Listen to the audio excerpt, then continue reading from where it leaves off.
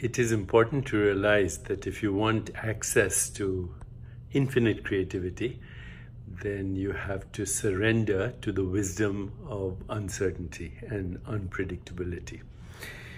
Unpredictability, from a personal point of view, is actually the creative process in the non local mind.